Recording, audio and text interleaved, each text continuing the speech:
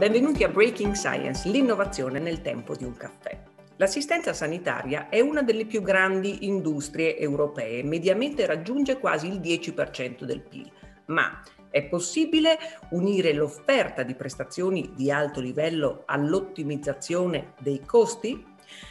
Proprio di questo si occupa uno dei tre progetti vincitori del bando AI, Uomo e Società, finanziato da Compagnia di San Paolo. E di questo ci parla Guido Boella, che è ordinario di informatica presso l'Università degli Studi di Torino. Per capire di che cosa stiamo parlando è importante anzitutto introdurre un concetto, quello di circular health, salute circolare. Di che cosa si tratta?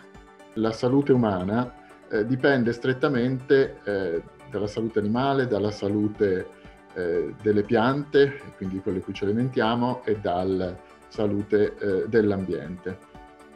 L'idea del progetto è provare a eh, affrontare il il problema della salute umana in, a 360 gradi. I soggetti coinvolti sono di tre tipi perché sono ospedali, un'industria di trasformazione alimentare e un'azienda agricola. In che modo sono coinvolti?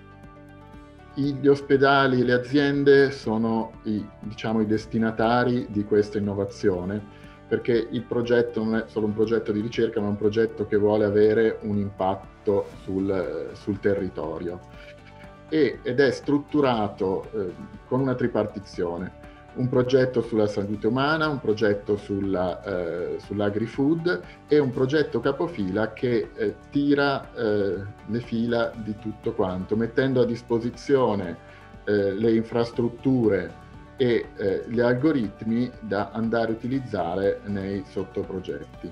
L'idea del progetto è di tenere conto della complessità di tutti gli stakeholder coinvolti, dai medici, gli operatori sanitari, i pazienti, andando a ricostruire il funzionamento eh, di questa città ehm, tramite cosiddette tecnologie di process mining.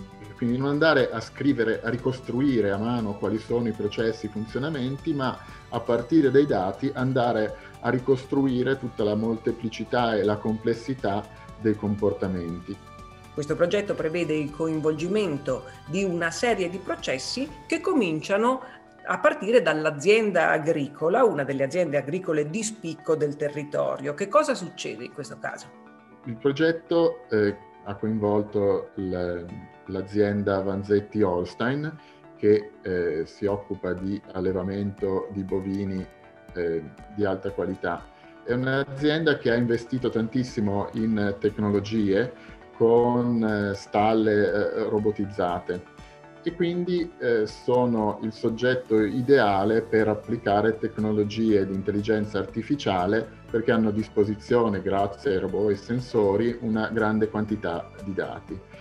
E il loro obiettivo nel progetto è quello di eh, migliorare il benessere dell'animale, che poi si va a riflettere anche nella qualità poi del prodotto che arriva sulle nostre tavole. Un secondo passo è dato da una industria di trasformazione alimentare e questa nel progetto che ruolo ha?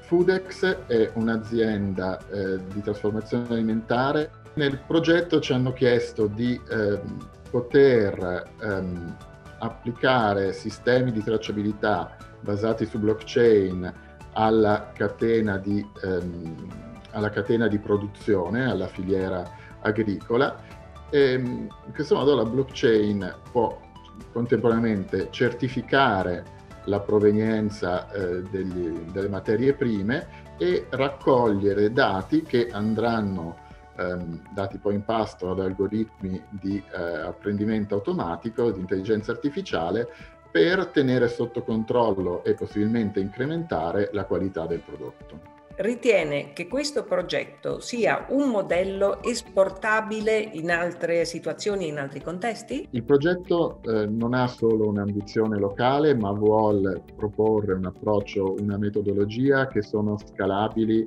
in altri contesti. Eh, ovunque ci sia la disponibilità di condividere i propri dati eh, allo scopo di eh, migliorare la qualità eh, della, della cura del paziente e della produzione eh, agri